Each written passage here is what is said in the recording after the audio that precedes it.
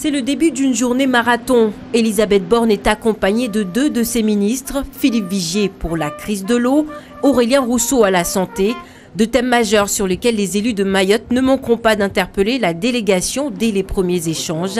Après l'accueil protocolaire sur le tarmac, vient la tradition mahoraise avec l'éternel collier de fleurs.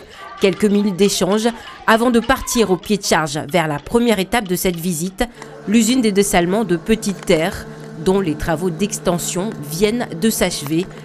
La Première ministre y est toujours actuellement.